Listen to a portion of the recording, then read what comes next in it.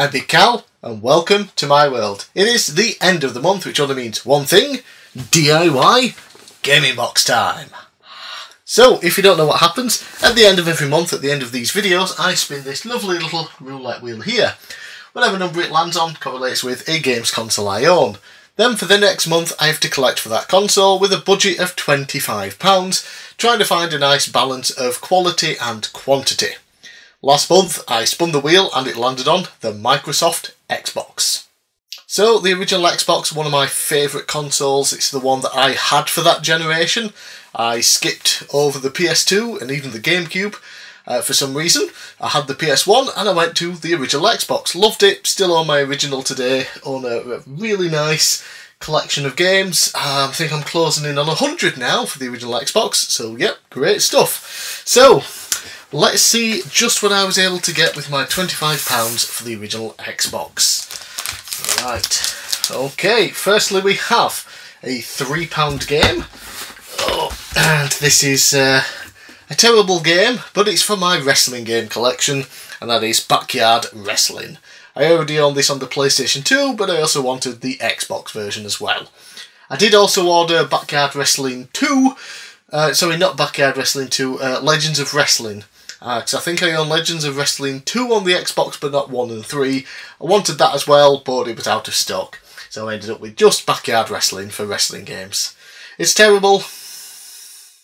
It really is just a terrible, terrible game. An interesting premise, obviously, going to the backyard wrestling, you're jumping off rooftops, putting people through tables, using crazy weapons and that. But it just controls like crap. Yeah, so uh, it's for the wrestling collection. Put that there. Next up we have another £3 game.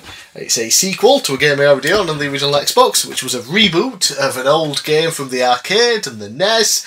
Big fan of the NES version. I wasn't too keen on the reboot, the first one, uh, but I picked up the sequel anyway, and that is Spy Hunter 2. Yep, go around driving a car, shooting at things in front of you, and occasionally behind. Yep, um, I did enjoy playing through this a little bit more than I did the first one. I don't know, maybe they just polished things up a bit for the sequel. But yeah, I just did the tutorial. We just driving about, uh, jumping over some gaps and things, and shooting stuff. So yeah, probably a decent game if I put more time into it. So we'll see. Yeah. Right, another £3 game. Another sequel as well to a game I already own. That is NHL Hitz 2003 not normally a fan of uh, ice hockey, but the games, the Hitz games in particular, are super duper fun because as well as just having a game of hockey, you can also beat people up. Yeah, one of the main gimmicks is that you can get into fights, and if you do, beat the people up, and they have to unfortunately go off and bring someone else on. Um, you can also tackle them um, during gameplay, just smack them, knock them down, or if you're close to the side, you can knock them through the glass, which is always fun. And you can do big power shots as well. You hold it in, smack it, and it'll turn into fire. Yeah, really, really fun game. Always enjoyed playing the, this one and 2002 back in the day. Uh, it does have a weird feature where you can you, you can listen to music um, from that's on your Xbox hard drive. You know, you could rip CDs onto it and that but it only plays during the pause menu, making it utterly pointless, really, unless you want to pause the game and listen to a couple of songs. I don't know. yeah, but fun game, really good. Now we're going up in price to £4.45, and it is a classic Micro Machines. Yep, got little cars, big environments, and you just drive around a track. Didn't really have that much fun with this when I was testing footage. Uh, it just didn't seem to control right, and I, I would try and just drive straight. I wouldn't press anything, and I would just go off the edge, fall off things, and hit stuff.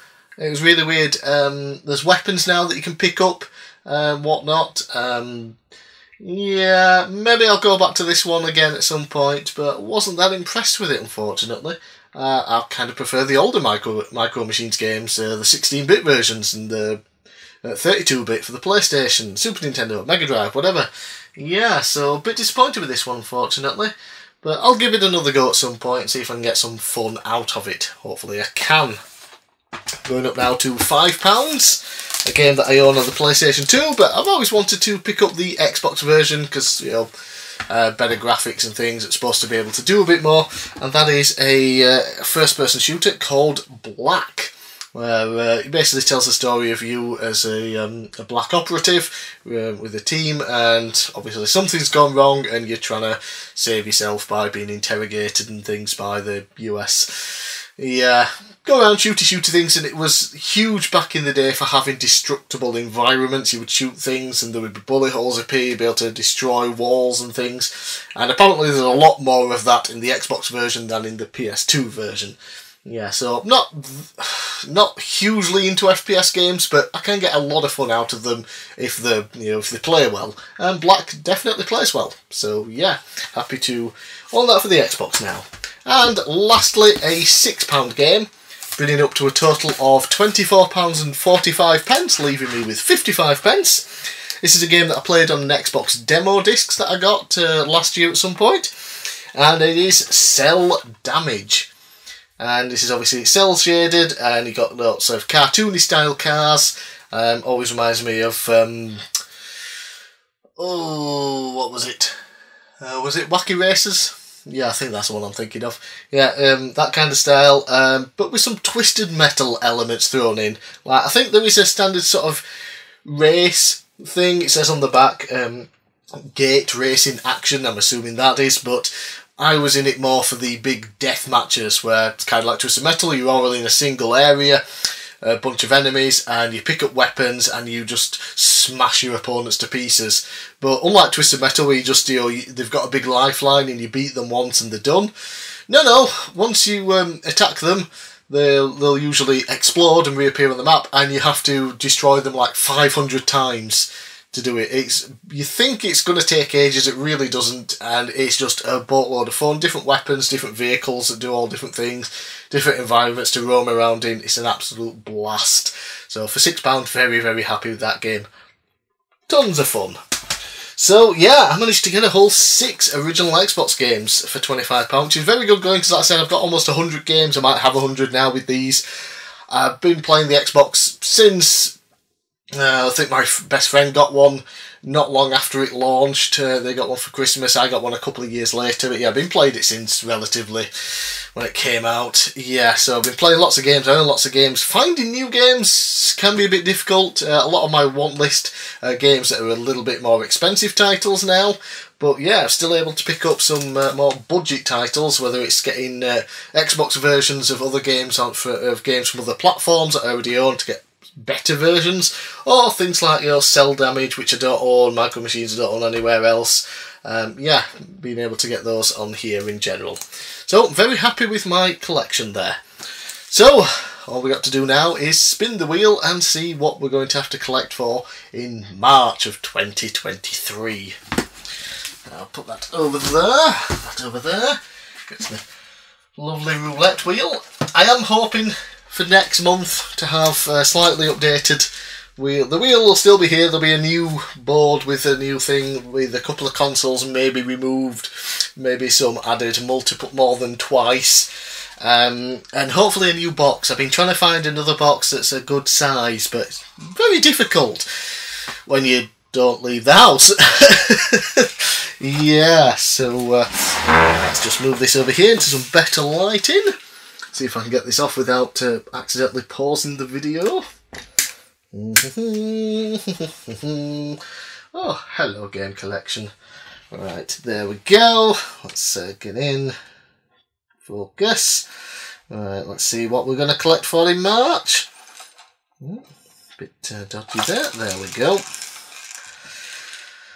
Okay, number 12, which is the Sega Master System. God, look at that. It's filthy. See, that's a bit of, that's a bit of, um, what do you call it, sellotape there, and it's got bloody dirt and dust on it. Disgusting. Right. See if I can put this back now without uh, messing anything up.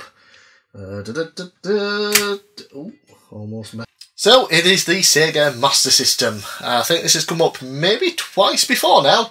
Um, yeah, it's a system that I've only Started collecting for last year when I got uh, the little adapter for the Mega Drive that lets me play Master System games on the Mega Drive because I don't own a console.